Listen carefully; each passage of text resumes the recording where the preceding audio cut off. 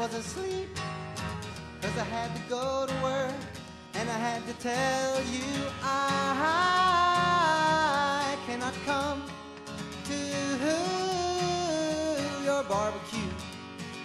Though I really would like to come and eat your food, I simply don't have time, so I have to tell you I cannot come your barbecue.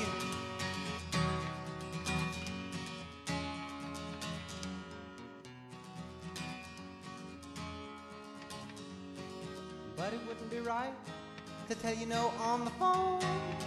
So I wrote this song and I come to your home to tell you why. Can I come to your barbecue? Because I